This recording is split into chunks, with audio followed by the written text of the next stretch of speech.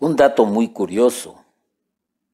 Y este dato que voy a proporcionar es de el año 2015, hace ya aproximadamente seis años. Pero ese dato nos va a dar una idea de algo muy interesante. Y es como para creerse o no creerse. Y es como también un dato muy curioso. Y este dato que voy a proporcionar es de el año 2015, hace ya aproximadamente seis años. Pero ese dato nos va a dar una idea de algo muy interesante. Y es como para creerse o no creerse. Y es como también como dejarlo a uno un poco pensativo. Hay más personas en California que en todo Canadá.